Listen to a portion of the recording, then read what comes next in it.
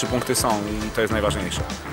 Fajna asysta młodego zawodnika, wszedł Kuba na kilka minut i dał asystę od razu. Piękna bramka. Nic tylko się cieszyć. No dobrze było. Znaczy całego nie widziałem, bo grałem no mecz. Przełamaliśmy lidera, przełamaliśmy serię porażek. Chyba było warto, dużo emocji w sobotę. Będzie lepiej piwo smakowało. Fajnie, że byli kibice, dziękujemy za wsparcie.